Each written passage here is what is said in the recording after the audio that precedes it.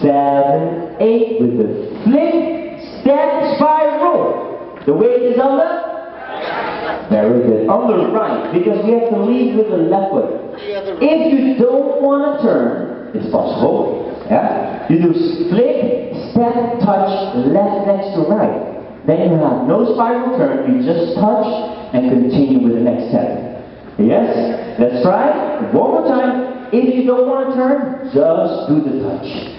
Seven, eight, flick, step, turn. Now the weight is on the right foot. You're going to step forward on four, step forward, turn, side on N, step together, finish in the diagonal on six, uh, on five, sorry, five.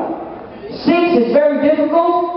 Oh, very good. Let's try, try this again.